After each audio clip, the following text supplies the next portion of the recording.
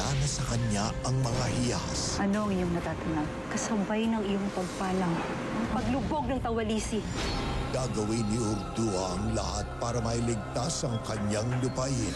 Ang pakikipagsangguni sa iyong inapuhan ay pakikipaglaro sa kamatayan. Ang mga itinakdang re-resmack na kay Astrid. Amoy ko pa rin eh. Naaamoy ko pa rin yung mall. Dito ngayon, sa hallway. Mga lihim ni Urduha. Weeknights, 8 p.m.